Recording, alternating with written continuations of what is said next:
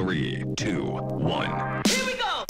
1. bonjour à tous, moi c'est Alexandre Percereau, je suis actuellement étudiant en Bachelor Développement Web à My Digital School Angers, que je vais désormais appeler MDS. Et avant d'arriver à MDS, euh, j'ai fait un DUT MMI, donc euh, métier du multimédia et de l'Internet, qui est assez similaire avec la première et la deuxième année à MDS.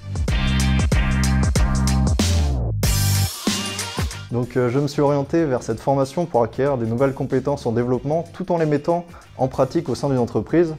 Et ce qui m'a particulièrement plu chez MDS, c'est qu'au niveau des rythmes des cours, on a deux semaines en entreprise et une semaine à l'école et je trouvais que c'était top. Alors oui, même si c'est un peu plus compliqué avec le deuxième confinement, mais on sent que le personnel est à l'écoute et qu'il prend soin de nous. Pour ma part, j'ai l'occasion de côtoyer du coup le personnel d'MDS dans le cadre de mon alternance et je remarque bien qu'ils sont très investis.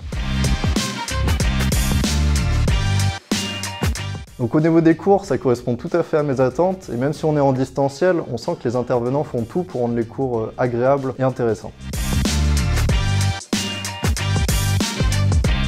Donc ce que j'aime bien avec MDS, c'est que la quasi-totalité de nos journées se déroule avec une seule matière et aussi au niveau des horaires, c'est 9h-17h tous les jours et ça permet de garder un bon rythme.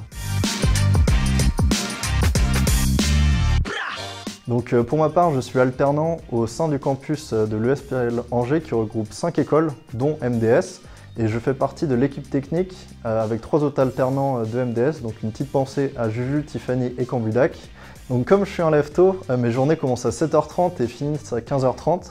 Et je commence souvent ma journée du coup par un petit café. Après j'alterne entre la réalisation des projets et le support technique. Donc la plupart de mes journées sont remplies d'imprévus auxquels euh, on doit proposer une réponse rapide et j'adore ça car c'est très stimulant.